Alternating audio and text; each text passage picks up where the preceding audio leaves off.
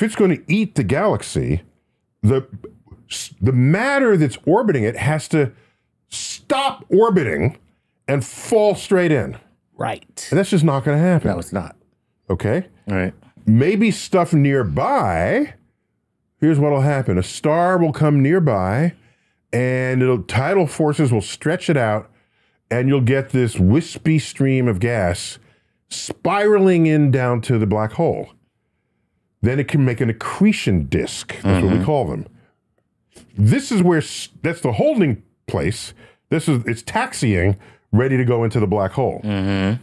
As it's falling towards the black hole, mm-hmm. it's slowing down from the friction of all the other material there, and that energy has to go somewhere, and it goes to heating the accretion disk. Okay. So hot, millions of degrees, that it radiates ultraviolet and X-ray X-ray light. light. So the X-ray telescopes were the first telescopes to discover black holes.